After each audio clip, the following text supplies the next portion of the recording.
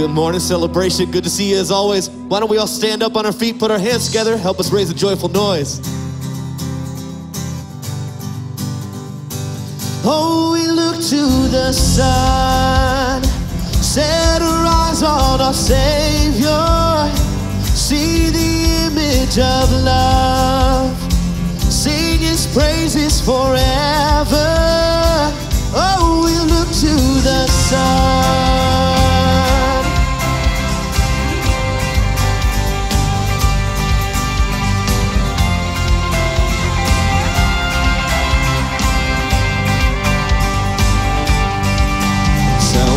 Salvation tearing through the dead of night.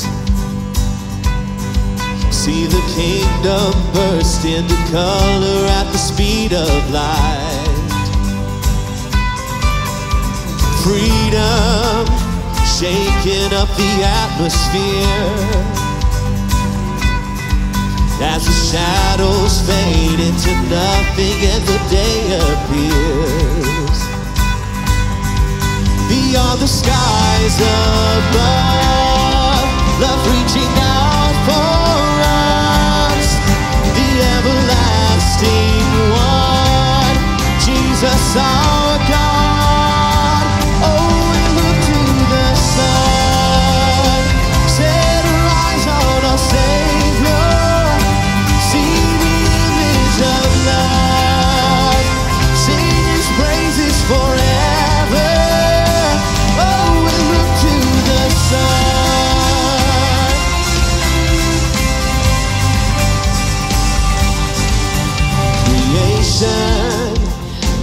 waking up to kingdom come. See the hope of heaven shining like the rising sun. Now forever lifted up from death to life. There's no fear in love and no darkness in his endless light. Beyond the skies above, love reaching out for us, the everlasting one, Jesus our God.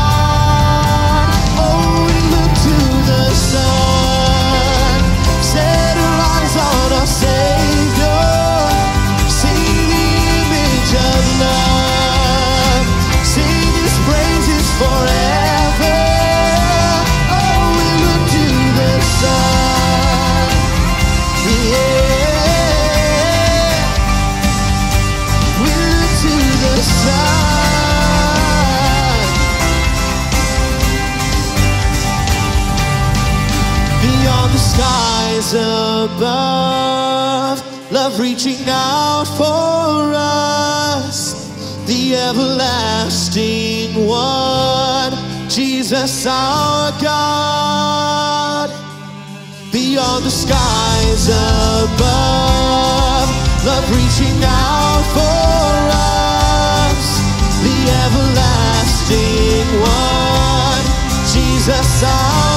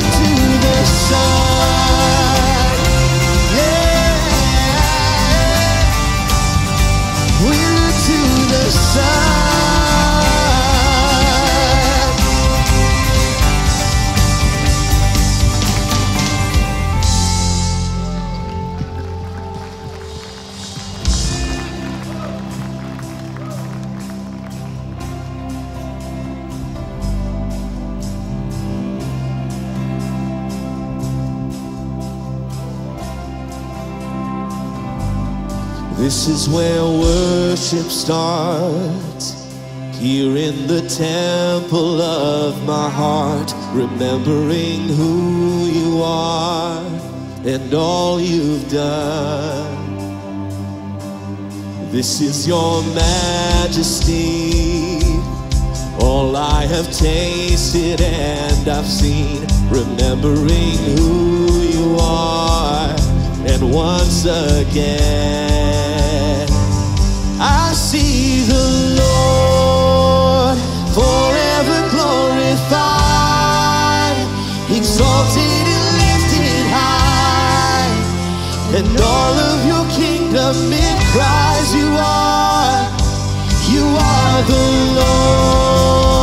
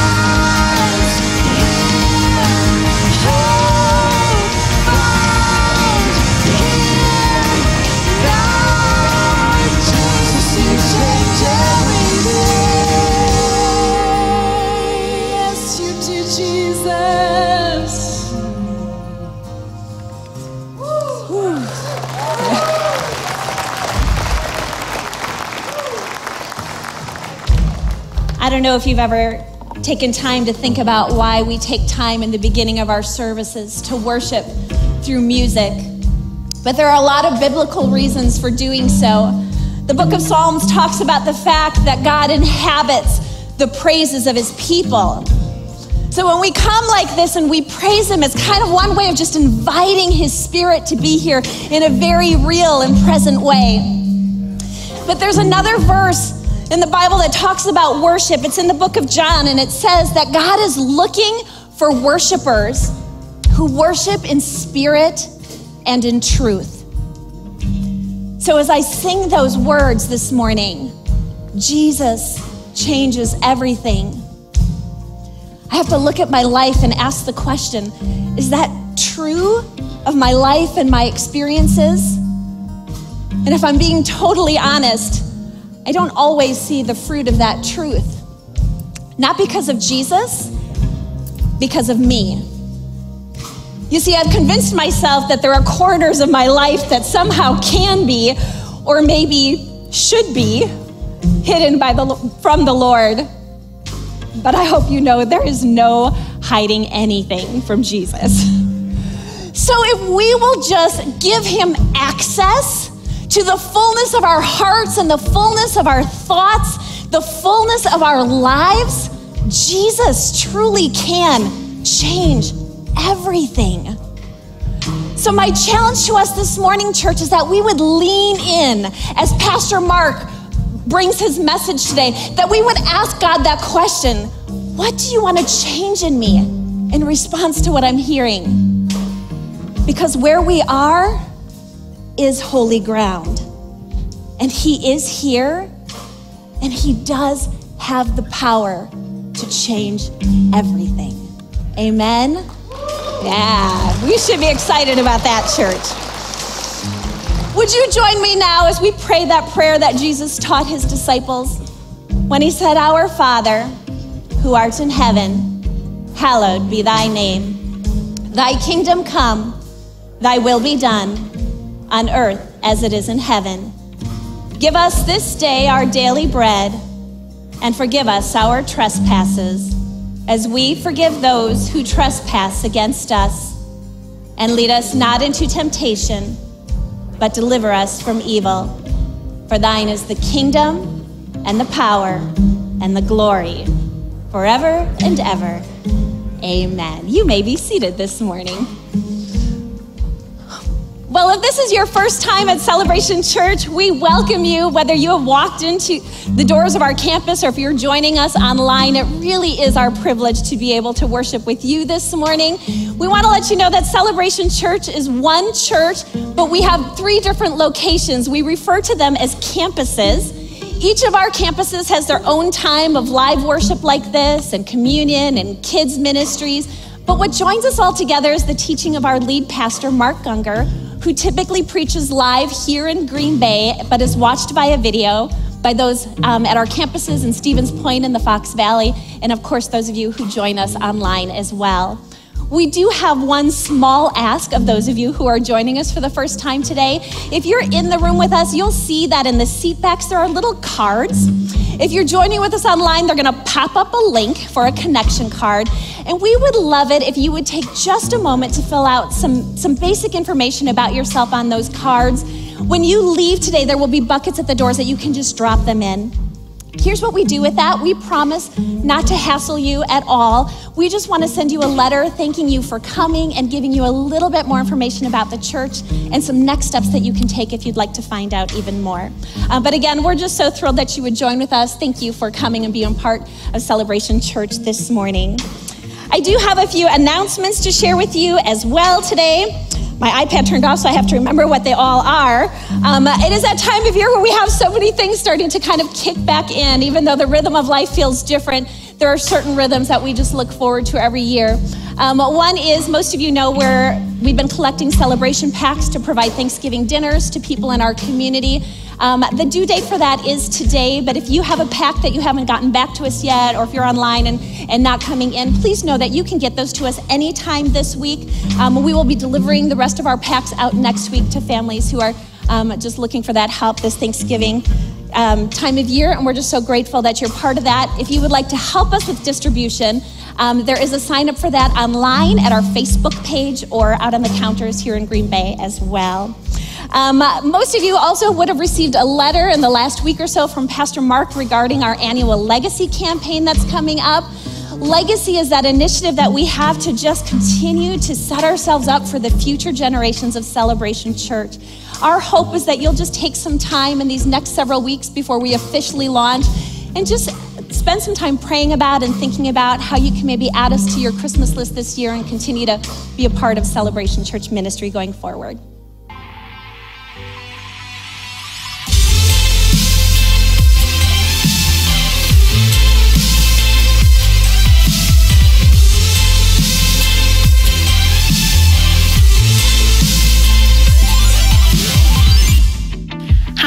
My name is Savannah. Welcome to Celebration Church. Whether you are here in person or online, we are so excited to have you joining us with worship today. This week is step three of our monthly growth track. At step three, you'll be introduced to the Celebration Dream Team and learn how you can be a part of a team that's making a difference by serving in dozens of ways across church life. Our team leaders will help you find the serve area that best fits your interests and abilities. Classes are online Monday at 6 p.m. and Thursday at noon. Our annual Women's Christmas Extravaganza will be taking place on the morning of Saturday, December 5th, with both in person and virtual options this year. The extravaganza is a beautiful way to start our Christmas season, and we are making every effort to bring you the warm spirit event you love in an atmosphere that will fit your comfort level this December. Tickets go on sale today in the lobby for our in person events at the Green Bay and Fox Valley campuses. If you would like to connect with us virtually for the extravaganza or possibly host a small group in your home that morning, you can find information or purchase your ticket by visiting the events tab on the church website. For those of you who have recently decided to follow Christ and commit your life to Him, your next step is water baptism. Make sure you sign up online for a water baptism class this Tuesday at 7 p.m. We believe in the fellowship of believers. We say it every Sunday and we exercise it when we gather for church, but we witness its power the most in small groups. That's why we encourage everyone to get involved in group life this winter. We're eagerly looking for those of you who are naturally love or care for people to join our team of small group hosts and leaders. We're holding orientations this Thursday at 7 p.m. You can sign up using the class registration link on the homepage of the church website or by stopping at guest services after service. However, you are joining us for church, make sure you visit the Church at Home tab on our website. We have weekly messages for preschoolers, grade school kids, and youth. Church at Home also has plenty of other options to help you stay connected this season. We are so excited to have you here with us today. Please enjoy the service. This is Celebration Church, but it's more than just a building or a church. We have a calling to be a place where people can find a relationship with God instead of religion, a place where freedom is found and acceptance given, and every person can discover their purpose and experience the kind of fulfillment only God can give. Together, we will raise, lead, and empower a generation to change the world. Here, Jesus is famous, and all the glory goes to God. This is celebration. This is our family. Welcome home.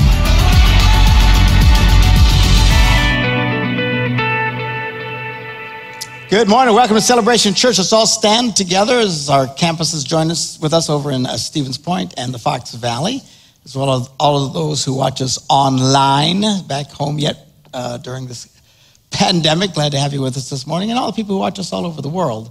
Uh, glad to have you with us. Let's uh, start by reciting together the Apostles' Creed. This is our statement of faith. This is who we are and what we believe at Celebration Church. We believe in God, the Father Almighty, the creator of heaven and earth. We believe in Jesus Christ, his only Son, our Lord, who for us and for our salvation was conceived by the Holy Spirit, born of the Virgin Mary, suffered under Pontius Pilate, was crucified, died, and was buried. He descended to the dead, and on the third day he rose again. He ascended into heaven and is seated at the right hand of the Father. He will come again to judge the living and the dead, and his kingdom will have no end. We believe in the Holy Spirit, the holy Christian church, the fellowship of believers, the forgiveness of sins, the resurrection of the body, and the life everlasting. Amen. You may be seated. Good to have you with us this morning. And I can assure all of you that no animals were harmed in the creation of this jacket. Before we go on with our service, we want to pause for a moment to remind everybody about the offering and to give you a moment to be able to participate uh, online. Um, many of you use the uh, app uh, that you get on your phone. There's a celebration app. If you don't have that on your phone, that really makes it easy, actually. Uh, there's also text to give, where you text to 77977. That's the number you send it to, 77977 and type CCWI in the message and then the dollar amount and send it. And you can give that way. Many of you are involved in recurring giving, and that's the best situation for the church. Then everything we can budget accordingly. Many still send in their checks. Uh, many of you uh, in the live services can still give on the way out. There are buckets. We don't pass them around now because of all this stuff, but you can still give that on the way out. Uh, and, uh, and we appreciate you supporting the church so that we can continue to do what we do and to celebrate the gospel of Jesus and bring it to a very lost and dying world. Somebody say amen. also, keep in mind, uh, coming up is going to be our legacy campaign, our annual campaign. Do uh, start thinking now. Don't just oh, be surprised when it gets there. Start thinking now. What can we do special this year uh, for Christmas for the kingdom of God? Something above and beyond. You say, well, I normally give. That's fine. This is the above and beyond what you normally give. Something that you can do. Be as generous as you can. The more generous you are, the more generous God will be back to you. It's a very strong biblical principle.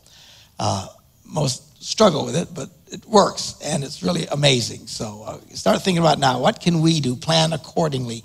Be intentional. Don't be an inspirational giver. you know what I'm talking about? There's people who, if you can tell a really great sad story, they'll cry and they'll give. and uh, I don't do that. I know lots of churches that do that because they've trained their people to be inspirational givers. If you can tell a sad enough story, then they'll give. Uh, and, and we don't do that. This is supposed to be based on emotion. You're supposed to be an intentional giver. Somebody say amen. amen. All right, if I tell a sad story, that's, that's a bonus. All right? but uh, don't be driven by your emotions on everything in life, for heaven's sakes. Uh, and then one, one last thing, and, and I say this kind of hesitantly because I don't know the whole facts. And as you know, things get exaggerated one way or the other. But uh, it has come to my attention that there were some people here last week wearing a mask, and some people around them were talking loud enough to criticize them for wearing the mask, and they felt very offended by it. Exactly how it happened, who these people were that even said it, who knows? Just remind you, we don't do that to people, okay? Be nice. I don't care if they come in hazmat suits. You have dad and mom and all the kids in little tiny hazmat suits. They come sit down, and just say, It's so good to see you today. That's all you say. Other than that, keep your mouth shut.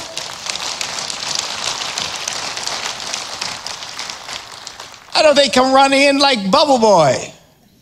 Yeah, how many remember Bubble Boy? So you, yeah. With John Travolta, was that it? he had something that, you know, he had to be in a bubble all the time. He was called Bubble Boy. And now the whole world's trying to turn us into a nation of bubble boys. But anyway, I'm going kicking and screaming along the way. But anyway, yeah, yeah, I know. but be nice to the bubble boys, all right? um, this morning, reading from uh, the Old Testament, reading first uh, Judges, the book of Judges. Now, uh, the beginning of the Bible starts with Genesis, which is at the beginning to explain how we all got here. Uh, it doesn't really go into lots of detail about how we got here.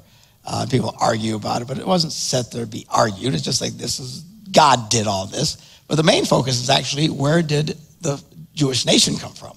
And it gets into Abraham, Isaac, Jacob, eventually hits Joseph at the end of um, Genesis, and boom, they all wound up in Egypt. They want to show you how did they end up in Egypt. It's a historical account. This is how we got here. They were then slaves for 450 years. Moses comes, gets them all out of there, and they come out, and then they eventually go in and take the promised land. Why do we call it the promised land? Because God promised Abraham, Isaac, and Jacob that they would get in this land. Took a while, a lot of generations before they got there. And let's face it, sometimes it can be a little frustrating that things take as long as they take. Uh, I would like things to be done right now, uh, but uh, sometimes it just takes a while. We got to be patient. And anyway, so they finally go into the promised land, and now they're there. And as I mentioned last week, uh, Moses gave them a choice. Look, if you'll do the right thing, God will bless you. You'll have life. If you do the wrong, if wrong things, wrong things will happen to you, and it's going to be death. And they had to tell them, choose life. Don't choose death. And they said, okay, okay. So they get there, and now they're supposed to be living happily ever after, if you will, in this incredible land that they've taken. Uh, but it doesn't take long before they all start doing the bad things. And then bad things would happen to them. And they'd cry out to God, and then uh, He'd send someone to help them, and then straighten things out, and things would be good. And then they do bad things again. And this goes over and over and over and over. Now, this is before they get a king. First king is Saul, then King David, uh, Solomon, and then all the kings and stuff. Uh, which you can read about in the book of Kings, two books of Kings in the Bible, all historical accounts. Anyway, during this season between when they got in the promised land and before a king showed up, they were ruled by what was called judges. These people, God would use some of these people, judges, to get them out of the trouble that they would find themselves in because they would keep being disobedient. Anyway, so we get to Judges chapter 4, uh, and we're reading about these various judges. Judges chapter 4 is interesting because this is a female judge. Ooh, look at that. Uh, God can use women. What a shocker. All right? And, and we'll talk more about that in just a second. But so anyway, we're reading in chapter 3, we finish up reading about Ehud, was this guy, and uh, God had used it because they were being disobedient. Horrible things would happen when they'd cry out to God. God would send a, someone, a judge, deliver. And the last one was Ehud, and then everything was good again. And then, very next chapter, the very first verse, again, the Israelites did evil in the eyes of the Lord. This was nonstop. They would do evil, just everything would go wrong in their lives. They would cry out to God. God would deliver them. And as soon as everything got comfortable, they would do evil again, over and over and over again. All right? So they did evil in the eyes of the Lord now that Ehud was dead. Uh, Israel, for some reason, struggled not. I, want to take a look at this thing. The, the one temptation they kept having over and over and over again is they were tempted to get into idol worship. Uh, and it, this was a stumbling block to them over and over again. Now, I'm looking at this and I'm thinking about it. I'm talking to some other pastors about it. And, and, I, and I, I said, What was the temptation? What was the draw about worshiping idols, this, this whole idol problem that they had? Because virtually every sin the Bible talks about, we have all felt a temptation in one way or the other. All right? Not all of them, but many of them. But you feel that. To this day, we feel tempted to do things. But I have never, ever, ever, ever walked by a statue and had this overwhelming urge to go, hullaba, hullaba, hullaba, hullaba, hullaba, hullaba. You know, and I don't even know anybody who's ever felt anything like that. If you had, don't raise your hands. But uh, so what? What the heck is this? What? What is it? It keeps getting him in trouble until you start to look at it closely and see what it was all about. The whole thing about paganism and idol worship. Two major points. Number one, um, the temptation was an overwhelming desire to be like everybody else around them. The one thing about God from the beginning said, Listen, you will be my people. And even today, we're supposed to be his people. And that means you won't be, we will not be like everybody else around us. We just won't be. And people really struggle with that because there is this overwhelming desire to want to be liked and appreciated by as many people as possible. And sometimes it's the most of the people. It doesn't even have to be most of the people. Sometimes it can be a very small group of people. You want to so be identified with that group of people that you start crossing the line and being more interested in making that little group of people happy or my group of friends or my grandma or whatever. Relatives can be a big thing. There's something that pulls us away from our faith for this desire that I want everybody to like me or I want a certain group of people to like me. And this is an overwhelming uh, pull on our hearts, still to this very day. That's why Jesus said in the Gospel of Matthew, chapter 10, verse 32, he says, Whoever acknowledges me before others, I will also acknowledge before my Father in heaven. But whoever disowns me before others, I will disown before my Father in heaven. What is he talking about? This is this thing that sits in all of us. That when it comes, push comes to shove, because our flesh, this is still, this, this is all going to die. So this is irredeemable. This is how bad sin is in us. And we still struggle with it to this day, even if you're a person of faith for 50 years. This will still fight you. Uh, this wants to be identified with wrong uh, more than it wants to be identified with right. So oftentimes you get around situations and, and you would rather, there's a, a part of us that wants to disown Jesus and don't let anybody know I'm for Jesus because we feel this weird pull in us. And Jesus warns about it, warns us about it. Paul, the apostle Paul, when he wrote to uh, Timothy, second Timothy, his second letter to Timothy, chapter 1, verse 8, he says, So do not be ashamed of the testimony about our Lord or of me, his prisoner. Well, why? Because there is something in us. There's something, and, and I didn't go into all the verses and stuff because I don't need to go into all the verses to explain it, but there's something about being identified with Jesus and the cross that is, Paul often refers to as the sense of shame. There's a sense of shame. In the natural world, when you start proclaiming Christ or standing up for Christ, you'll feel sometimes, and, and the devil's really good at this, trying to put you into situations where you feel a little embarrassed. If you have ever felt a little embarrassed for being a Christian around the people that you're at, uh, don't worry about that. That's that everybody experiences this from time to time. The problem is don't give in to that. You know, it's like times you feel like punching someone in the face. That's okay. Don't punch them in the face. That's the problem. All right? Uh, so we all have temptation. We're not supposed to yield to them. But there is this sense, there's this sense of shame, if you will, of connecting with a God that nobody can see. And, and most of the people in a certain group or all groups uh, don't like this God that you are connected with and this way of living, the way that you think. And there's a sense of embarrassment sometimes that comes with it. Uh, sometimes you young people will feel that in school and stuff.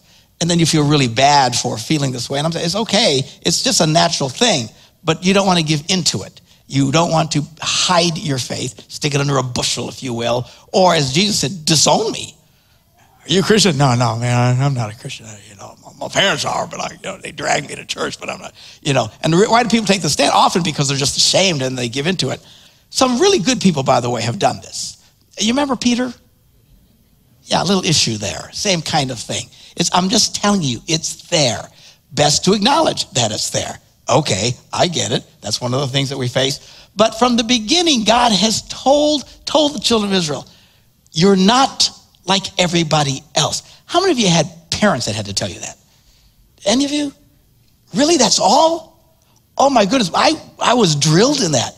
You're not like everybody else. You're a Gungor. I don't know what that meant, but that's what we all heard growing up. I, you, I expect something from you. Okay? Everybody else does it. I don't care. You're not like everybody else. You're my kid. I can't kill them, but I can kill you. You know, and, and there's this thing, and God has had this thing, you're my children, be careful. He warns them over and over and over.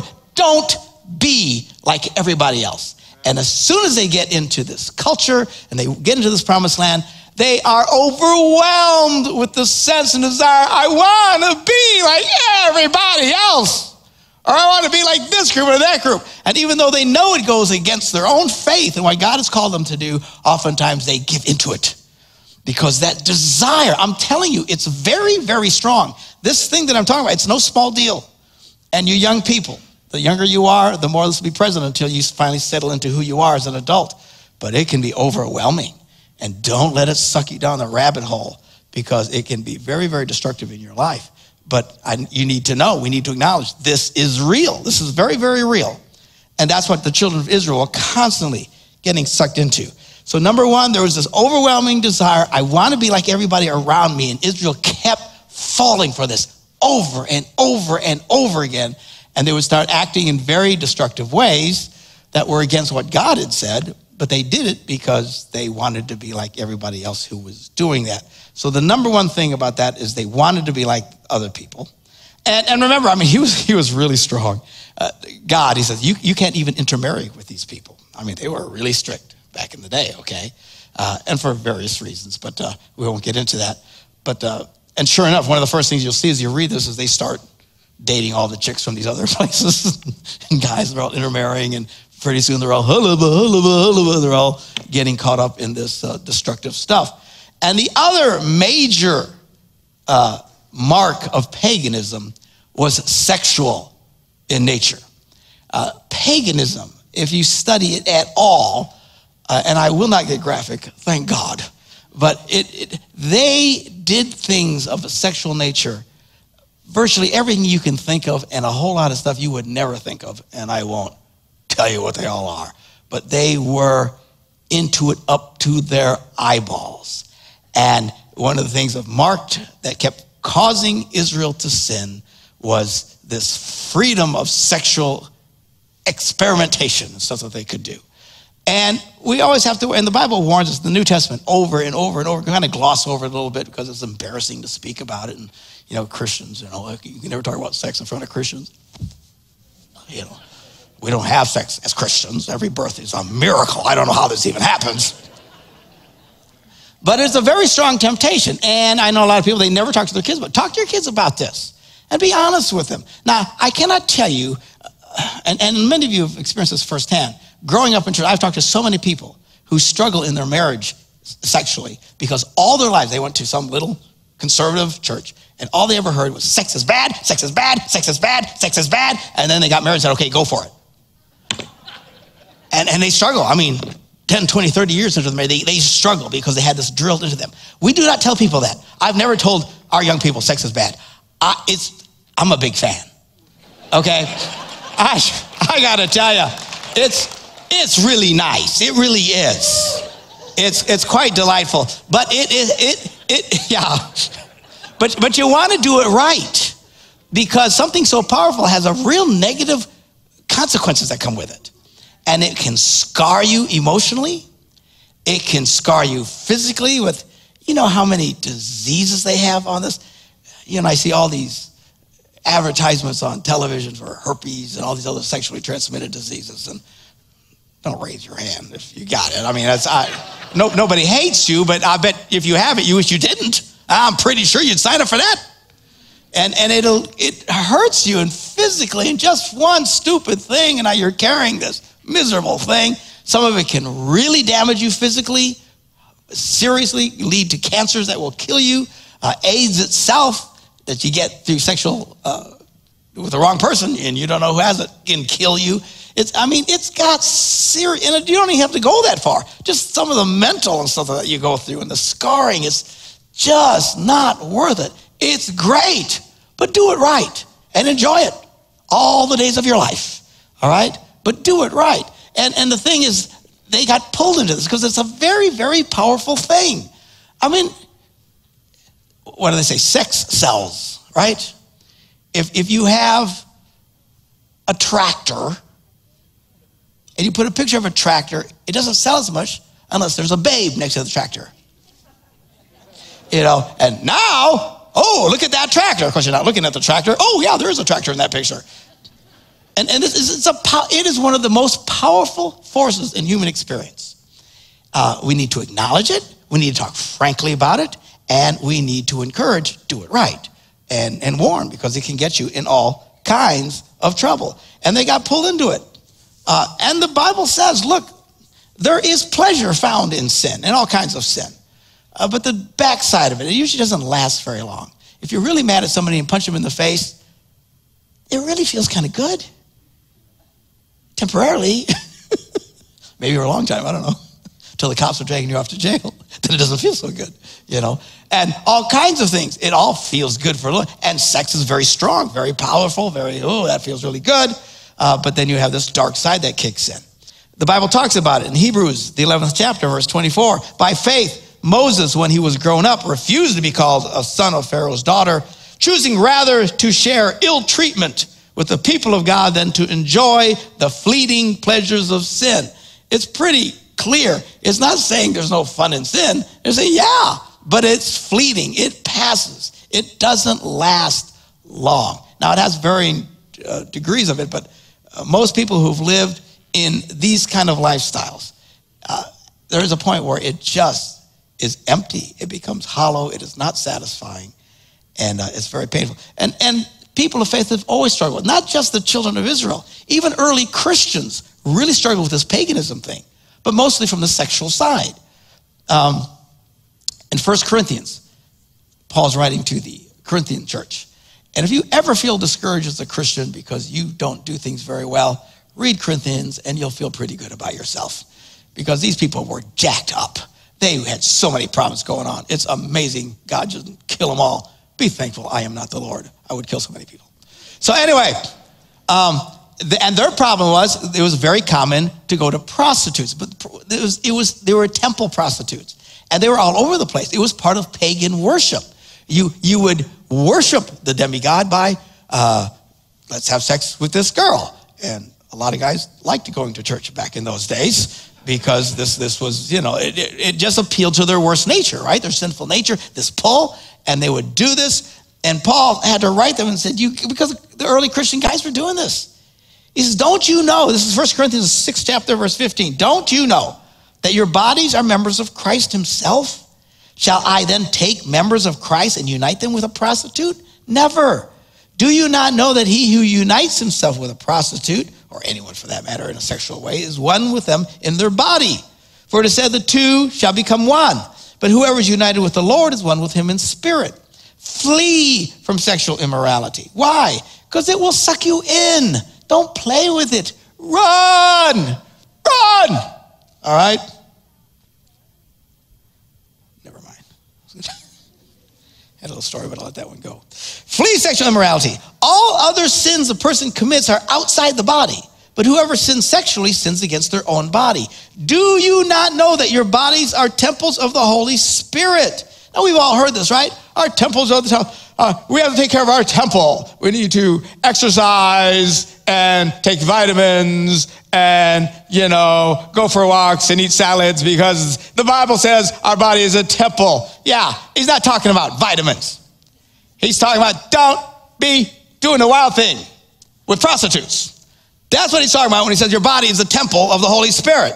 He says, uh, you are, uh, who whom you have received from God. You are not your own. You were bought at a price. Therefore, honor God with your bodies. This thing, he was encouraging him over and over again. So, paganism appeals to the greatest weaknesses that people have to be accepted and fit in with everybody else around you, even if it's a small group of people that you want to be around. You so desperately want to be accepted and fit in and be cool with them that it pulls you in.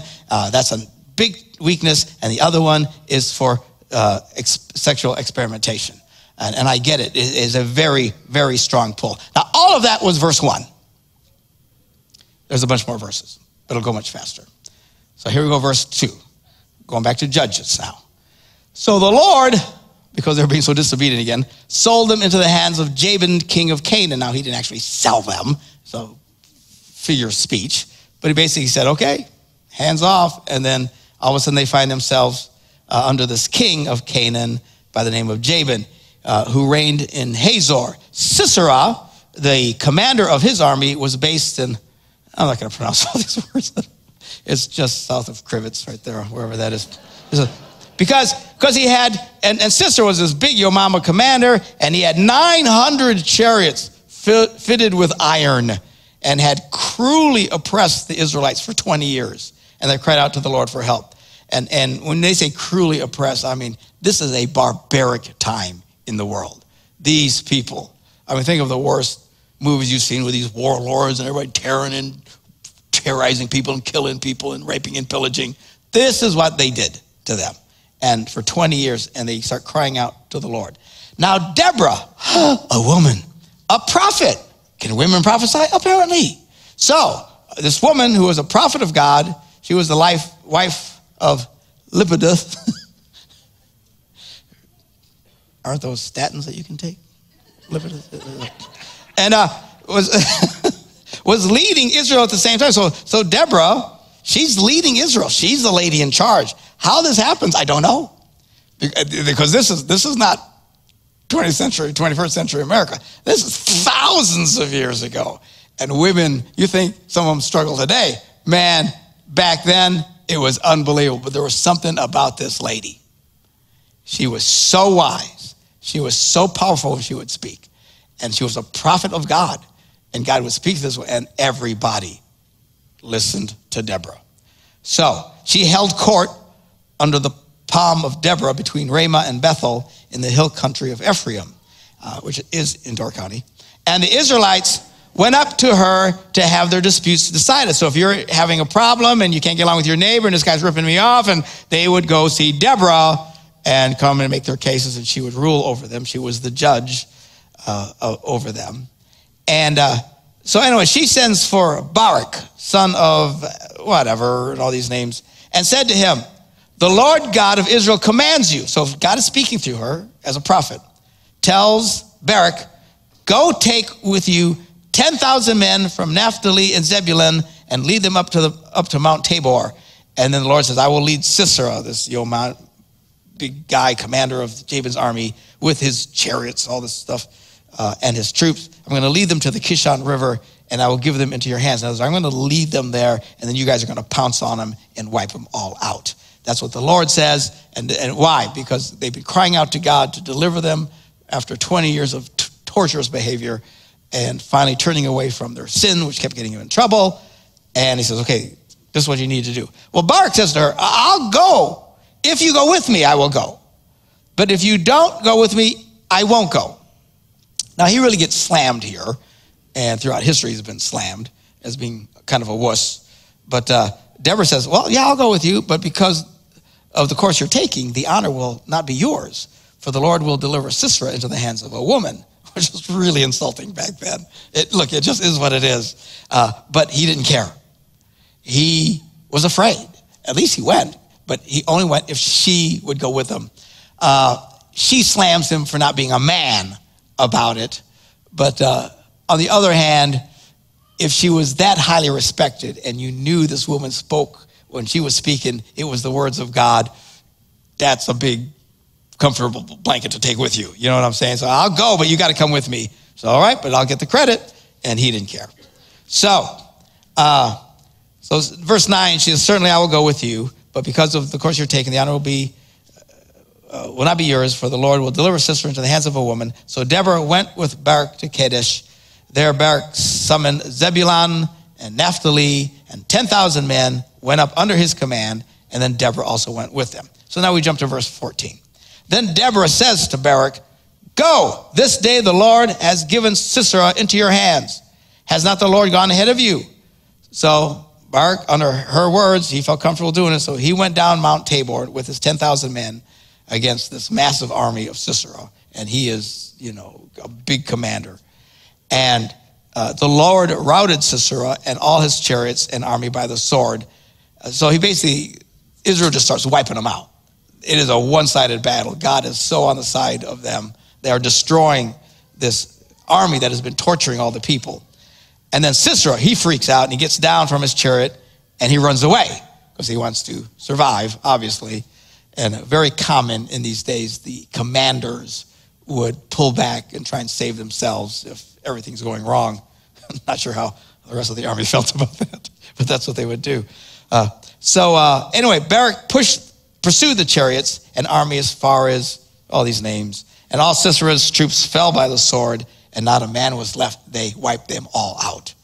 Sisera, meanwhile, fled on foot, and he went to the tent of Jael, this lady. She's the wife of Heber the Kenite, because there was an alliance between Jabin and the family of Heber.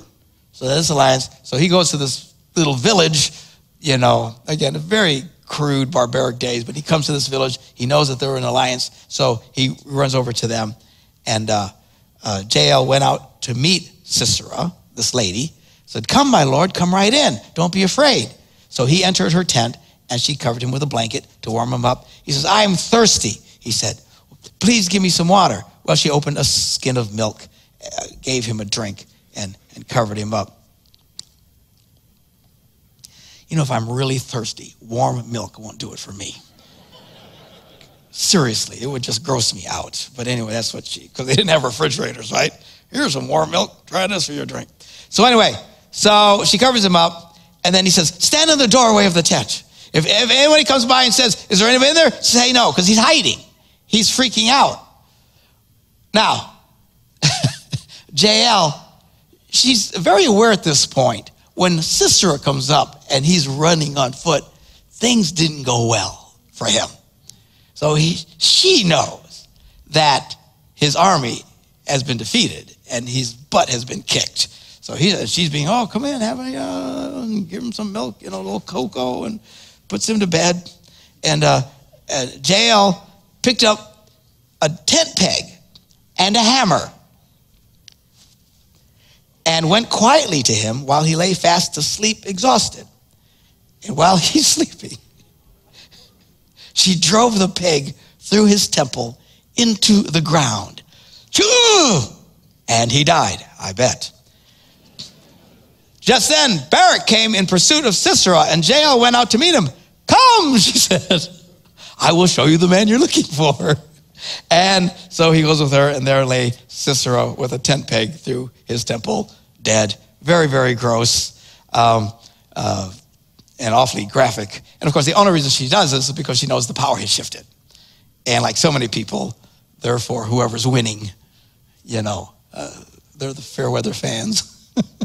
so, anyway, all this to show how God destroyed this, this horrible army that has been terrorizing Israel for 20 years. This is no small deal. It wasn't like, you know, there were, you know, they couldn't vote freely or so. I mean, these people, their lives were terrorized by these people. And they cried out to God and then shows how God delivered them. So the very first verse tells us of Israel's struggle with paganism. And then after this, they do it again. And then after this, they do it. And this is where you get, you know, Samson comes along and all these different people come along who would do these great things. And Israel would repent and then they would do it again. And it just never ended. Then you get into the book of Kings, which we'll probably eventually get there. Uh, and they had the same problem over and over and over again. And it's just, it's just because that pull of paganism, they just couldn't say no to it. And it destroyed them. And, they, and then finally, uh, they all wound up in a very bad place, lost their whole nation, uh, and they finally straightened it out. And then that's when Jesus comes. Anyway, okay, so um, one little tiny verse to tell us of Israel's struggle, uh, and then um, the rest of the chapter of how God will do whatever is needed to save us when we call on Him.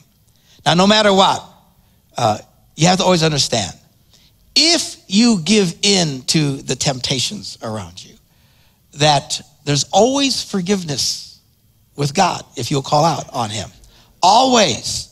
Uh, and you always have a home here. And I've told this to our young people, many you know for years, whenever they would graduate, I always say to them, look, all your life we've taught you how to live. Uh, but if you don't listen to us and you go out and do whatever you, you need to understand, you still have a home here. Don't ever think I can't go back there because I've done all these things wrong. And I've used the analogy of Humpty Dumpty. So you might come back in a million pieces, uh, but we will take all the king's horses and all the king's men and put you back together again. You might look a little cracked, but you'll still be back whole, okay? Because there's consequences, right? You know, you go through in your life, you know, and you've been through five husbands and everything, you're just a mess. There's a bunch of wounds that you will carry, but there's always forgiveness and there's always healing, and we celebrate that. Now, that sounds warm and fuzzy, but you have to understand there's people who've been part of our family that done some really bad things in this church adulterers, thieves who've been arrested and thrown in jail, ex cons. We got a bunch of ex cons here, don't raise your hand. All right. Uh, you know, child pornography, arrested and stuff like that. That stuff really makes people mad, and I get it. But you have to understand if people come with forgiveness, they still have a place here. Now, obviously, we wouldn't put them in charge of children's ministries or anything like that. But, uh, and you think we have problems, you know, oh, I'm hard forgiving this guy. Stop and think. We, you know, throughout the last 2,000 years, you hear about people who have been tortured and killed martyrs for Christ. Think of the scenario. Someone comes and says, Turn your back on Jesus, or I will kill your children in front of you. And they refuse to do it, and they kill them. And they come to the next guy, Turn your back on Jesus, or I'll kill your children. They go, No, no, I don't care about Jesus. And they say, We remember the martyrs, and, and well, we forget part of the story, it's not talked about very often, is that oftentimes later, these other guys would come back to the church. And they would come back in tears and ask to be forgiven. And they forgave them. You think you have a hard time with people? Can you imagine looking at the guy who stood next to you? His children are still alive, but yours are dead because you didn't refuse Jesus, but they did, but now they come back? You don't think they had a problem with that? This forgiveness thing, it can be tough. But the power, the glorious thing that we celebrate, that there's always forgiveness at the table of the Lord. Jesus will end with this last verse. He said, What do you think? If a man owns a hundred sheep and one of them wanders off, what's he going to do? Will he not leave the 99 on the hills and go look for the one that wandered off? It's amazing. Jesus often talked, the people would criticize him, the Pharisees. Why are you spending time with sinners? You know, they're, they're bad people. Why, why are you hanging out with these bad people? Says, because it's the sick that need a doctor, not the well. You know, and Jesus would go on say, the angels of heaven rejoice over just one person that comes home. And all the parables of the prodigal and son. If there's one thing that we know about God, is he'll always reach out to you, no matter where you are, no matter what you've done.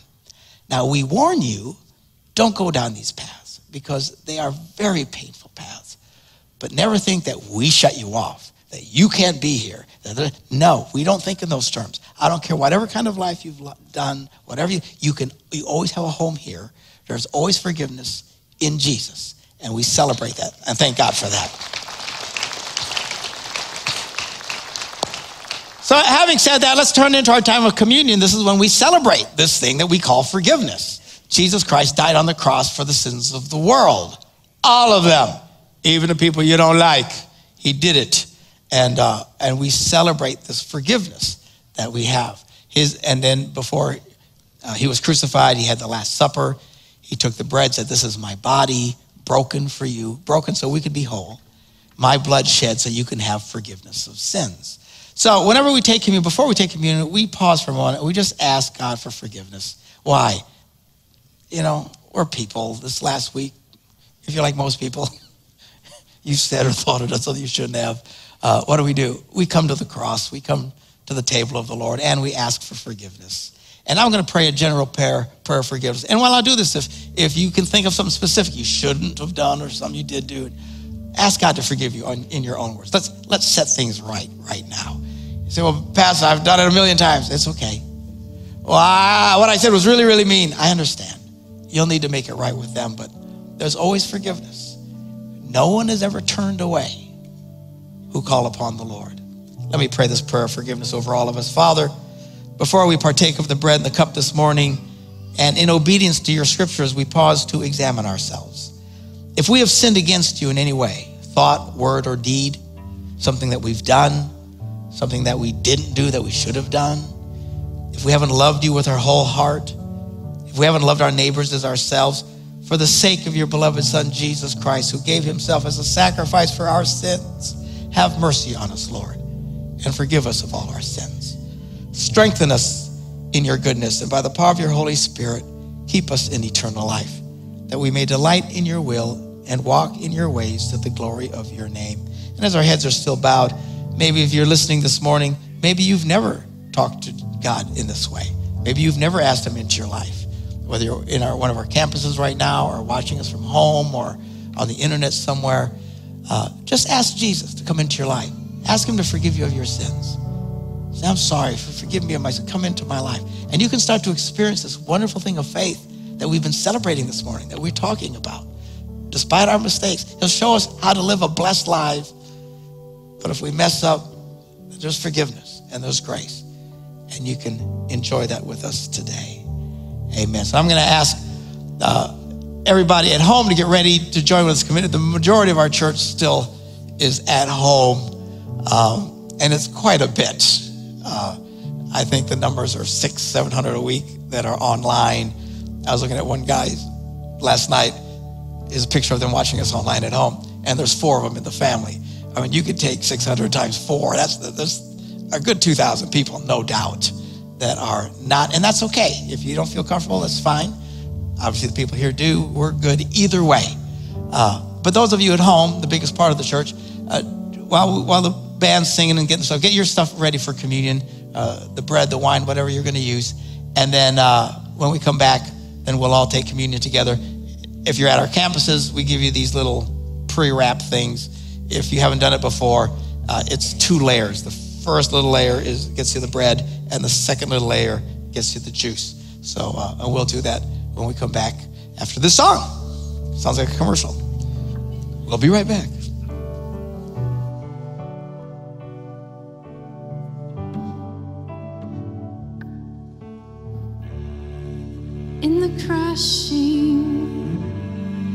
In the pressing,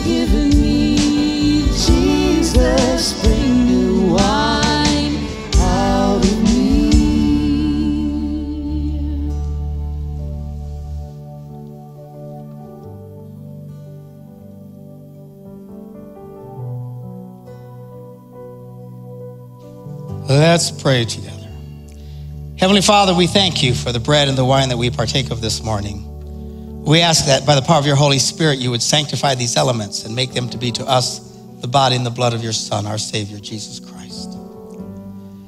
The Lord Jesus, on the night he was betrayed, took bread, and when he'd given thanks, he broke it. And he gave it to them, saying, This is my body given for you. Do this in remembrance of me.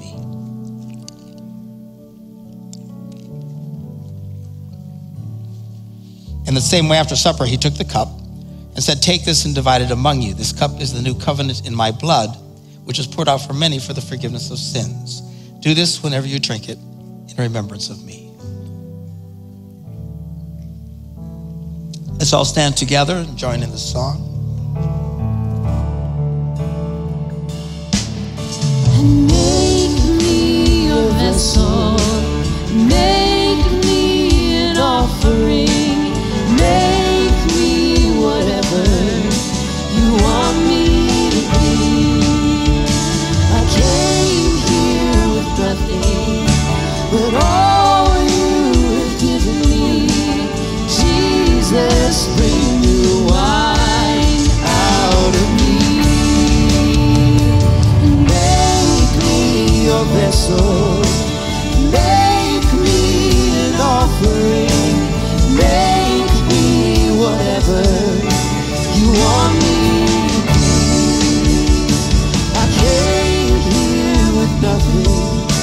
But all you have given me.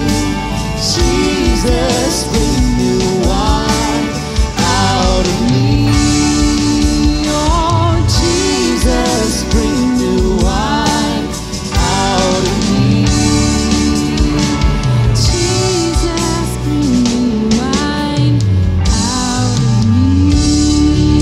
Yes, you may be seated briefly before we wrap this up. I just want to uh, say to those of you who maybe this morning was the first time in your life you asked Jesus to come into your heart and to forgive you of your sins. I have a book that I would love to give you uh, if you stop by this guest services counter and just ask them, say, can I, can I get a copy of that book? They'll give it to you absolutely free. It's a great book answering questions that you might have about faith and how to pray and how to, how to walk with God in your life. Uh, for those of you at home or watching online on the internet, if you'll go to our website, celebrationchurch.tv, and you'll see a church at home button, whatever, you click that, and then you'll see one that says, I said yes to Jesus. You click that, it'll give us an opportunity for you to give your name and address. Uh, we're not going to bother you. We've neither the time nor inclination to bother you. But uh, what we'd like to do is send you the book, and we'll send it to you free. And if you're overseas, a lot of people watch us all over the world, and it's quite a thrill to see it. Uh, if you'll just give us your email address there, uh, we will send you the, uh, a, a link, and then you can download the book for free uh, onto your phone or e-readers or whatever like it, and uh, you can get it that way into your life. And if there's anything that we can do to help you, uh, let us know. And if you have questions, let us know. Um, you have questions about the Bible, something, uh, whatever. All of you listen to me now or whatever. Uh, let me know. Mark at celebrationchurch.tv. If you have a problem or complaint, it's Becky at celebrationchurch.tv. Everybody's a comedian. Oh, let's all stand together. and let's pray together the uh, prayer of St. Francis uh, that we've been praying during this time. Uh, easier to pray than to do, I got to tell you. It's been so frustrating and all the conflict with people and stuff, but a prayer we need to pray nonetheless. Let's pray this together. Lord, make us instruments of your peace. Where there is hatred, let us sow love. Where there is injury, pardon. Where there is doubt, faith. Where there is despair, hope. Where there is darkness, light. And where there is sadness, joy. Heavenly Father, grant that we may not so much seek to be consoled as to console, to be understood as to understand, to be loved as to love. For it is in giving that we receive, it is in pardoning that we are pardoned, and it is in dying that we are born to eternal life. Amen. Now may the Lord bless you and keep you. May the Lord make his face shine on you and be gracious to you. The Lord turn his face toward you and give you peace. God bless you. Have a great week. See you next Sunday morning. Bye bye.